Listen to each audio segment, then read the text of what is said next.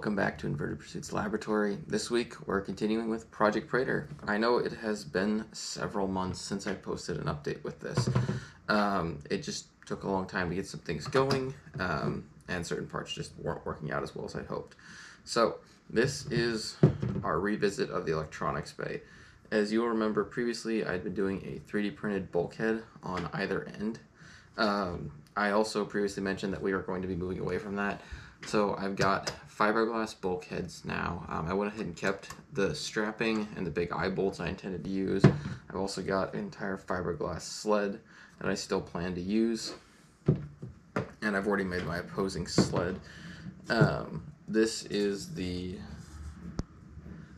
bay itself.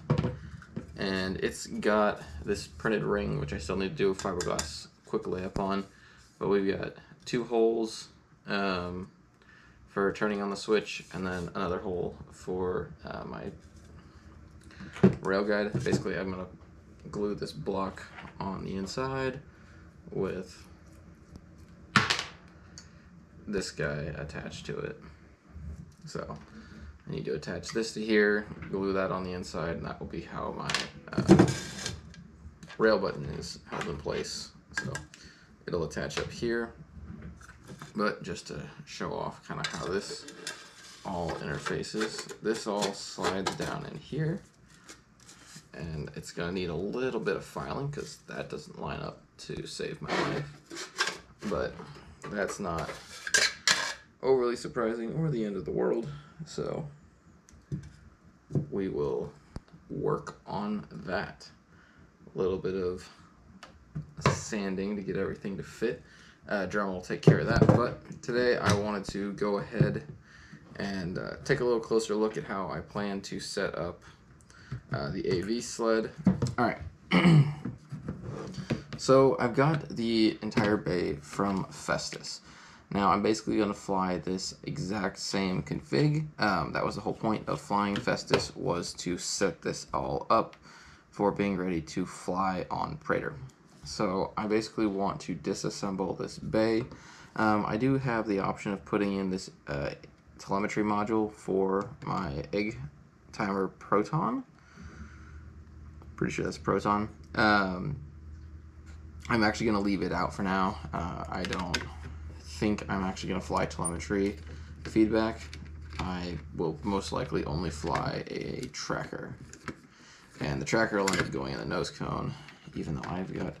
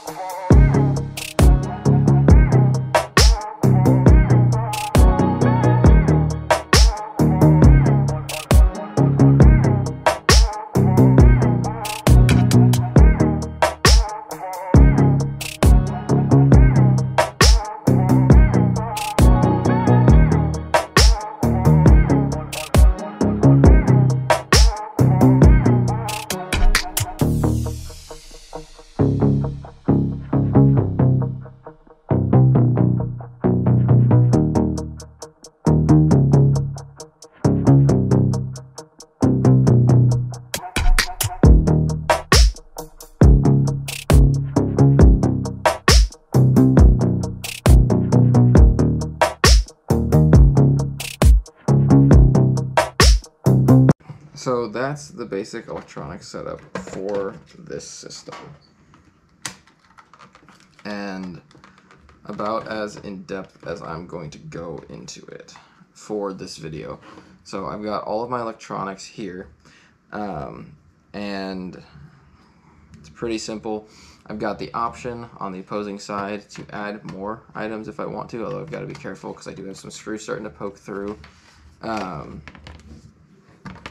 this entire system will actually lock into the rocket. So when I slide the AV or the um, coupler over, I've got these three hole three uh, T-nuts around which basically will allow me to bolt the upper body to the um, AV bay to ensure it doesn't disconnect from the AV bay during flight.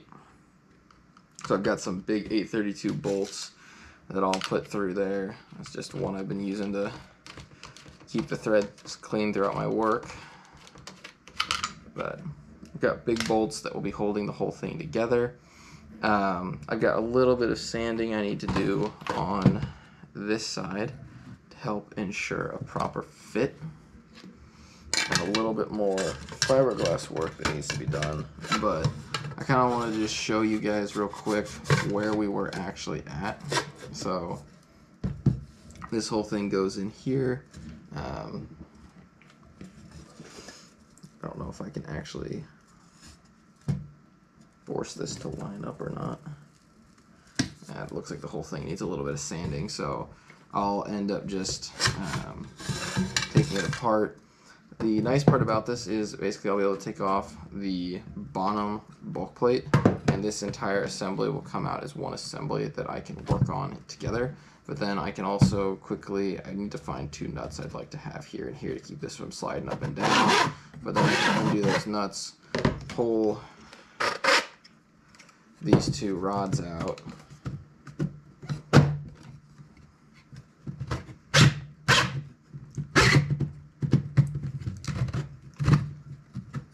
being a little difficult there.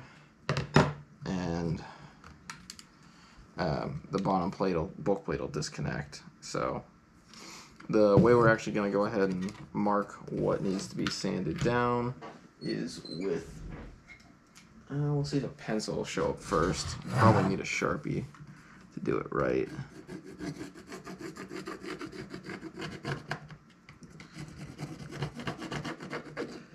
although the pencil seems to be marking well enough our problem areas. So we're just a little bit off round with these and then basically I can just pop that right off and then the black mark I've got here around on this half uh, I just need to take it out to belt sander and sand it down real quick but that's the basics of our updated electronics bay after the previous video I'd made showing you guys this um, again, I'll kind of just show this part off. The actual coupler band here um, has three holes, evenly spaced, 60 degrees apart. Um, 60, no, 120 degrees apart. Um, two perfectly are designed to perfectly line up with my screw switches. The other one is where my um, rail button will reside.